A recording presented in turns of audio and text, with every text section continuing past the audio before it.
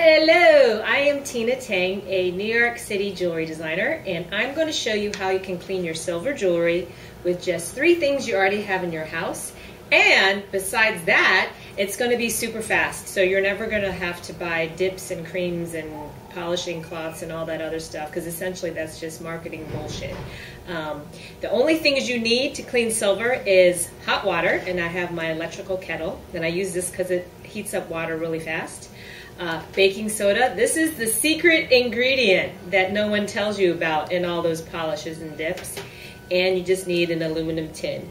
Um, you can use something that Chinese restaurants give you for takeout food or take a cake pan and line it with aluminum foil. The key ingredient is just the aluminum.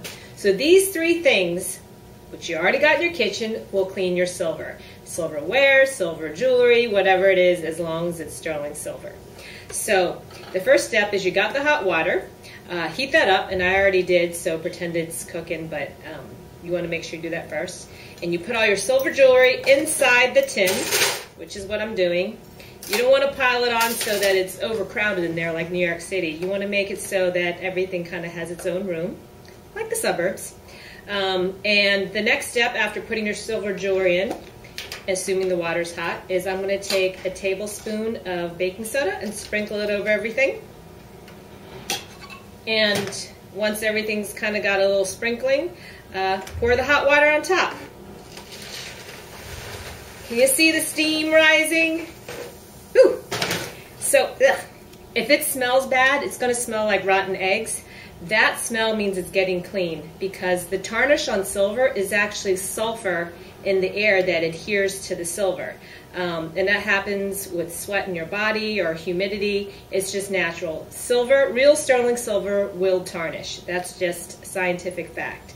So I poured it in, and my silver's getting clean. Um, sometimes, if it's really tarnished, you're going to repeat this process one more time. See how clean it's getting? Some things still need a little bit more, but essentially that's what it looks like. Um, I've done things where I've repeated it three times until it finally got clean. But as you can see, all I had to do was pour the hot water on to clean it. You didn't have to do anything else.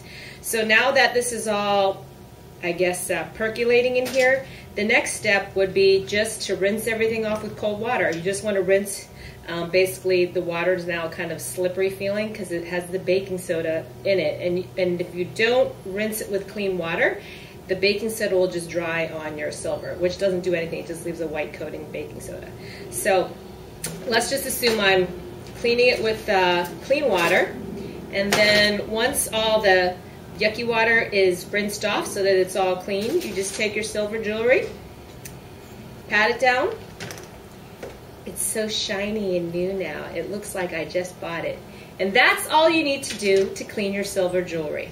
And if you have any questions, feel free to email me. Uh, my email address is orders at tinatang.com. Um, and I would be happy to answer any further questions. Hope to see you soon. Bye.